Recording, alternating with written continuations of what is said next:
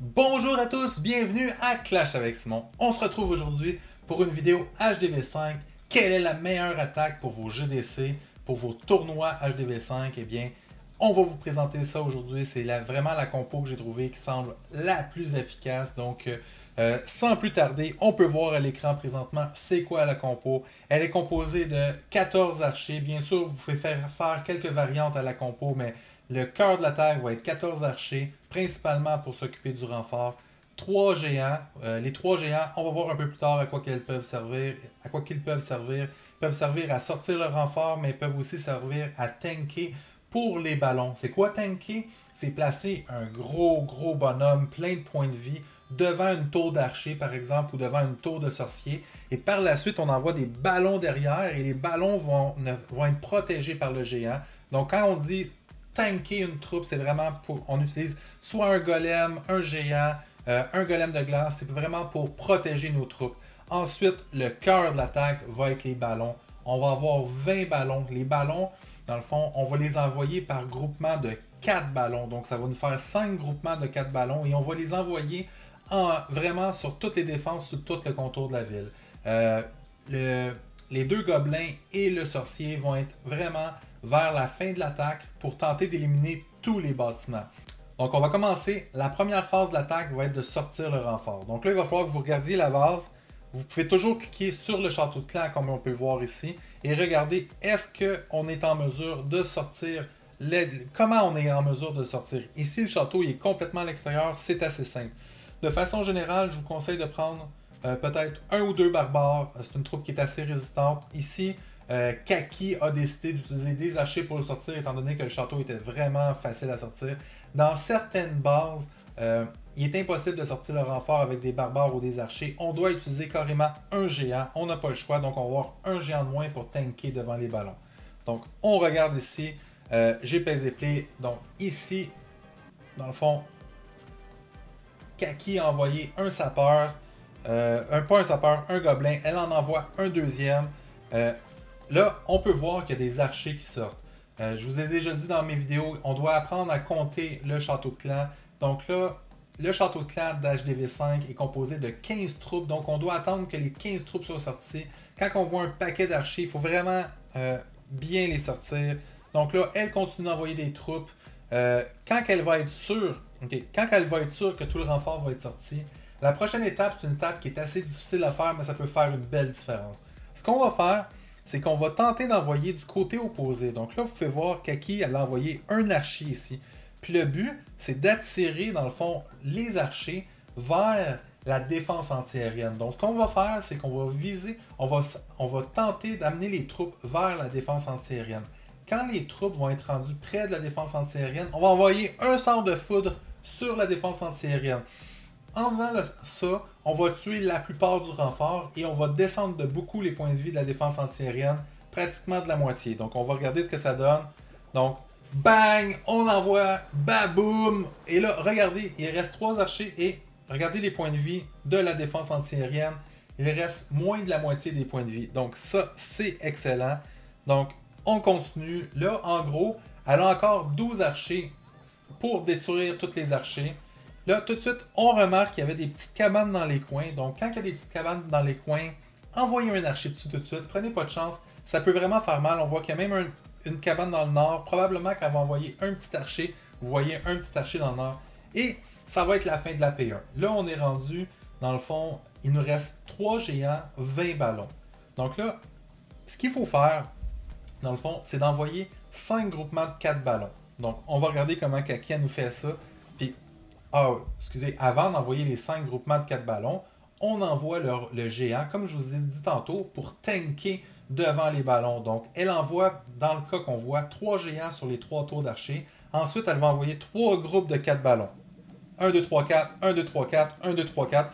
Je vous conseille de le cliquer à un doigt cette fois-ci. Des fois, je peux vous dire de cliquer à deux doigts, trois doigts, quatre doigts. Ici, il faut être assez précis. Il faut dire exactement quatre ballons. Donc, on se dépêche à cliquer 4 ballons, 4 ballons, 4 ballons. Donc là, les trois tours d'archer vont être terminés. Par la suite, elle envoie un autre groupe de 4 ballons ici. Parce que c'est sûr qu'il ne faut pas oublier qu'il faut attaquer la défense antiaérienne. C'est vraiment la défense qui va faire le plus mal. Et un dernier groupe de 4 ballons de ce côté-ci. Donc, à ce moment-ci, le tout va bien progresser. Puis je vous dirais, le renfort, envoyez-le en dernier en direction de la défense antiaérienne. Donc là, on continue à regarder. La défense antiaérienne, elle commence à tirer les ballons. Donc là, Kaki bientôt va envoyer le renfort. Regardez, ici, on envoie dans le fond, les trois derniers ballons qui vont vraiment viser la défense antiaérienne. C'est possible que ce soit ces ballons-là qui détruisent la défense antiaérienne. Une chose qui est importante, envoyez pas vos 20 ballons dans un seul groupement. Parce que, je ne sais pas si vous le savez, mais en HDV5, il, il existe deux bombes rouges. Et les bombes aériennes, deux groupements de bombes rouges explosent complètement les ballons. Les ballons vont être complètement détruits. Donc, c'est important de les diversifier, de les séparer en petits groupes le plus possible. Donc là, bientôt, on va sûrement voir ah, première bombe, deuxième bombe. Donc là, vous voyez, ici, il y a deux, groupes, il y a deux groupements de quatre ballons qui sont complètement explosés. Donc, euh, c'est dommage, mais au moins, il nous reste encore quatre groupements de ballons. Donc là, on va regarder. Euh, les ballons au nord, ils détruisent la défense antiaérienne. Et vous, pouvez voir que c'est vraiment le dernier groupe de trois ballons. Si Kaki ne l'avait pas envoyé vers la fin, vers la défense antiaérienne, la défense antiaérienne aurait tenu le coup. Donc là, elle envoie, dans le fond, euh, ses derniers ballons. Et là, on peut voir qu'il reste seulement un mortier, c'est fini. À ce moment-ci, qu'est-ce qu'il nous reste comme troupe? Il nous reste 5 archers et un sorcier. Les ballons, là, ça peut être très lent pour détruire une ville au complet. Donc, ce qu'il va falloir faire, c'est envoyer le sorcier euh, et les archers pour essayer de détruire la ville. Et en gros, essayer de l'envoyer où est-ce que les ballons iront pas, puis où est-ce qu'il y a des gros points de vie. Le sorcier a beaucoup de dégâts par seconde, donc essayez d'aller chercher des, réservoirs. Donc là, vous voyez Kaki l'a envoyé ici. Et là, merci, bonsoir, c'est terminé. À ce moment-ci, on n'a plus rien à faire. Donc ici, je vais aller en x4 pour qu'on puisse... Encore une fois, je vous ai préparé 4 gameplays pour qu'on puisse les regarder ensemble. Le premier est toujours un peu plus long parce que j'ai beaucoup de choses à vous expliquer. Par la suite, ça va être les mêmes principes, les mêmes principes qui vont être réappliqués. Donc, Baboum Kaki, félicitations Kaki en passant, c'est la chef de la TDC. La TDC c'est un super serveur Discord pour faire des bonnes compétitions. Euh, allez-y, gênez-vous pas. Donc la prochaine attaque, ça va être euh, sur le numéro 2 de Kaki. Donc, on regarde ça. Premièrement, au niveau des troupes, des fois il va y avoir des légers ajustements, mais là on peut voir cette fois-ci, c'est exactement les mêmes troupes que notre ami Kaki a fait. Première étape, on clique sur le château, on regarde on peut voir que ici le renfort sort facilement. Donc on va regarder c'est par où que Kaki a sorti le renfort. Donc là, elle l'a envoyé. Je sais pas si vous avez vu, elle l'a envoyé un petit peu à l'extérieur. Donc il va falloir le renvoyer. Donc là, elle a commencé par envoyer. Donc là, elle a envoyé trois troupes pour l'instant. Je pense que le renfort n'est pas sorti. À ce moment-ci, elle a pris une décision. Elle a dit Je pense que je vais envoyer un géant. Je veux vraiment être sûr que tout le renfort sort parce que c'est hyper important. Si on envoie les ballons, et que le renfort n'est pas tout sorti, c'est foutu. Donc là, regardez, les archers sont là. Si vous voulez envoyer, la prochaine étape, c'est d'envoyer les archers vers la défense antiaérienne. Donc là, ce qu'il faut faire, c'est envoyer un archer environ dans ce coin-ci et se préparer à foudrer. Donc on va voir si c'est ce que Kaki a fait. Donc effectivement, vous voyez, et là, baboum, le sort de foudre, le sort de tonnerre qui détruit tout. Donc il reste quelques archers, donc on va les amener dans un coin et les, et les tuer avec les 5-6 archers qui nous restent. Et là, ça va être le temps de la P2, donc on va regarder. Ok, là, ça c'était une GDC, puis la base avait déjà été attaquée. Donc Kaki savait exactement où étaient les bombes rouges. Donc là, elle a décidé d'envoyer une bombe rouge sur chacune des deux bombes rouges. Donc vraiment, euh, si jamais vous avez déjà eu un scout sur la base, un scout, pour ceux qui ne le savent pas, c'est quelqu'un qui a déjà attaqué la base. Donc profitez-en, essayez d'envoyer un ballon pour les sortir parce qu'après ça, ça protège tous vos autres ballons. Donc là, elle envoie, on a sacrifié deux ballons. Là, elle envoie deux géants et le restant des ballons par groupement de quatre. Et là, on va voir qu'est-ce que ça donne. Donc, elle envoie ses derniers ballons. Au nord, il y avait une défense euh, une tour d'archer, donc elle envoie ça sur la tour d'archer. Et là, il reste plus rien à faire. On va commencer à déployer, dans le fond, nos archers, nos sorciers. Vous voyez, là, il reste deux archers. Elle attend de voir. Euh, c'est sûr qu'il faut attendre que les défenses, comme par exemple les mortiers, ça peut faire très mal euh, aux, sorciers, aux archers. Mais là, c'est fait, elle a tout déployé. Les ballons ont tout détruit ce qui reste, donc on va faire en x4. Vraiment, gros GG à Kaki, elle maîtrise très bien la compo. Pour les deux prochaines attaques, on va changer, ça ne sera pas Kaki notre attaquant. Il va y avoir des légères variations sur les attaques. Donc, on laisse le clean-up se faire. Ça nous fait un magnifique 3 étoiles. Bravo à toi, Kaki. Grosse attaque. Donc, pour la prochaine attaque, on va aller voir euh, The Viking. Donc, on revient. On va aller regarder. euh, donc, The Viking qui a attaqué, dans le fond, le numéro 5. Je vous avais pas mentionné, présentement, dans le fond, tout ce que vous voyez à l'écran, c'est des entraînements pour le tournoi ESL HDV5. Et il y a une particularité pour le tournoi HDV5, c'est que le renfort doit être absolument un renfort euh, de HDV5. Donc c'est pour ça que vous ne voyez pas des Valkyries. Euh, dans le fond, vous ne voyez pas des troupes max. Donc si jamais, dans le fond, vous êtes, en- vous êtes euh, vous devez attaquer des bases avec du renfort max, avec des Valkyries. Là, les troupes vont devoir changer. En gros, vous allez devoir enlever 3-4 ballons et prendre peut-être 30 archers pour vous occuper du renfort. Ok. Donc, on a dit qu'on regardait de Viking. Donc, regardez, Viking a presque la même composition d'attaque. Il a pris un géant de moins. Il a pris 21 ballons de plus. Un petit affaire plus d'archers. Donc, mais ça va ressembler beaucoup, beaucoup. Donc, il commence par sortir le renfort. On va regarder avec quoi qui sort le renfort. Va sortir le renfort bientôt. Donc, on va accélérer. Il a sorti avec un géant. Donc, le géant a vraiment tout sorti. Donc, le renfort est tout ici. Si on veut l'envoyer sur la défense antiaérienne, on a juste envoyé quelque chose par ici. On va regarder ça et on va envoyer un sort de foudre quand les troupes sont à peu près à ce moment-ci. Baboum! Vous allez devoir vous pratiquer pour faire ça. C'est pas évident de le faire, mais je suis sûr que vous êtes capable. Donc là, le renfort est presque tout tué. On va l'amener dans un coin pour tuer les quelques archers qui vont rester. Ça vaut la peine, dans le fond, de faire ça pour éliminer la moitié des points de vie de la défense antiaérienne. Donc là, il nous reste 16 archers. On en a en masse pour éliminer ça. Et voilà, on utilise un archer. Et là, on va envoyer 5-6 archers autour. Le temps de détruire tout ça. Et là, il nous reste un seul géant. Et cette fois-ci, dans le fond, notre ami Viking, lui, a considéré que la défense euh, qui était la plus euh, dommageable pour les ballons, c'est la tour de sorcier. Puis effectivement, une tour de sorcier, ça peut être très fort. Donc, il a envoyé son géant pour protéger ses ballons sur la tour de sorcier. Donc, il y a un premier groupement. euh, ici, il a envoyé un groupement de 5. Un géant. Il va envoyer un groupement de 4 ballons. Ensuite, on continue à tourner. 4 ballons, 4 ballons, 4 ballons.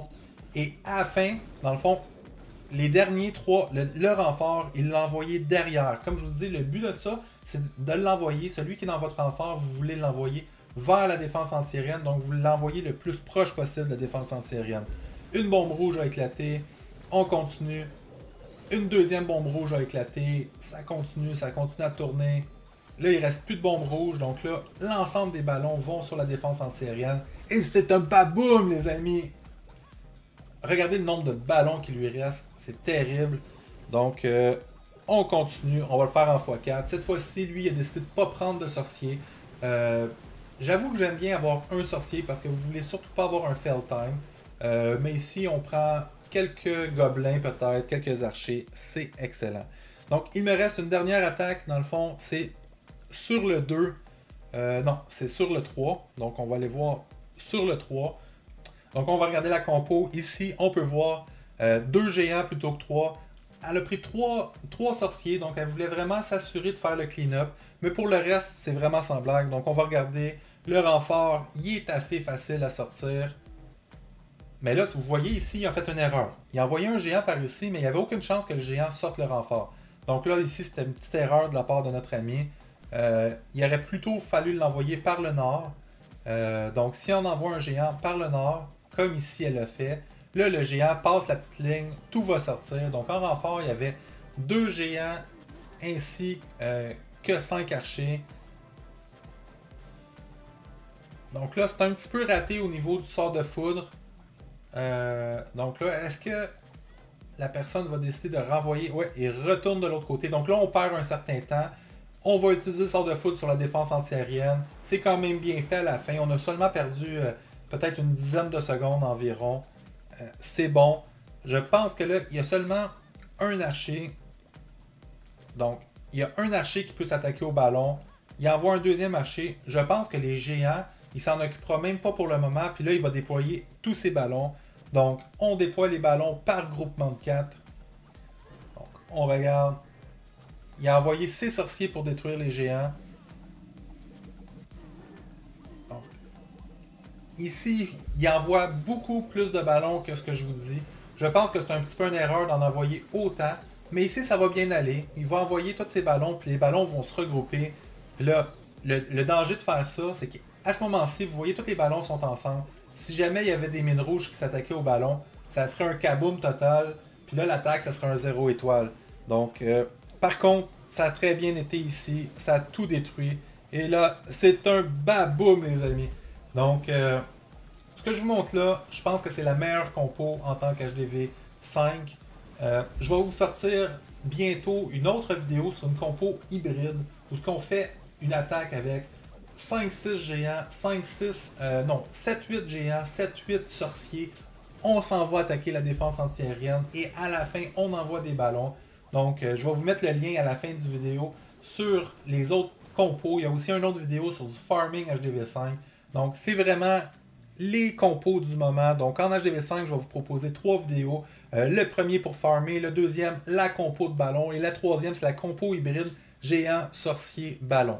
Donc, c'est tout pour aujourd'hui. S'il vous plaît, laissez-moi un petit like, ça va me faire plaisir. Euh, abonnez-vous si ce n'est pas déjà fait. Et on se revoit bientôt pour un autre Clash avec Simon. Thank you.